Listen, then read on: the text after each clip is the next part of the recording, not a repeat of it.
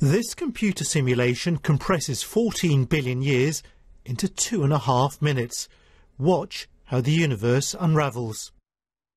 First, strands of mysterious material in blue called dark matter sprawl across the emptiness of space, like branches of a cosmic tree.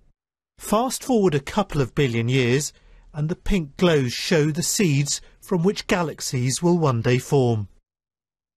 Billions more years pass and there are cataclysmic explosions, from which, a little bit later, the universe as we know it begins to emerge.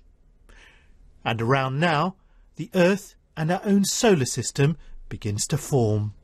So this simulation essentially tells us how universe evolves in front of our own eyes. And what we can see here is how gas and stars and eventually uh, planets and us form in this universe. And the amazing thing about this simulation that is really strikingly close to the real universe. This is a picture of the universe taken by the Hubble Space Telescope. Now compare it with the universe created in a computer, published in the journal Nature. It's hard to tell the difference. For hundreds of years, astronomers have used telescopes to see distant stars and galaxies.